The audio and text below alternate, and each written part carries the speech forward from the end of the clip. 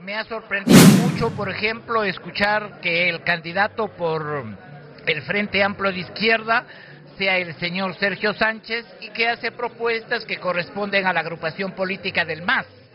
Me ha sorprendido mucho que el señor Reinald Seifer haya anunciado su candidatura por la agrupación política este, Somos Perú y que él es un hombre que se identifica plenamente con una propuesta de izquierda. Entonces lo que yo estoy viendo es de que los candidatos son en este momento como una especie de lo que está pasando en la tómbola, donde van y se meten no a la casa que les corresponde, sino a la primera puerta que encuentran abierta. Eso es eso es una absoluta falta de representatividad. Bueno, yo lo que veo es de que es gente que parece en algunos casos tiene algunos recursos económicos en la billetera y cree que la mejor manera de invertirlos bien es tentando un cargo político. Yo creo que para tentar un cargo político hay que tener dos cosas, propuesta y equipo.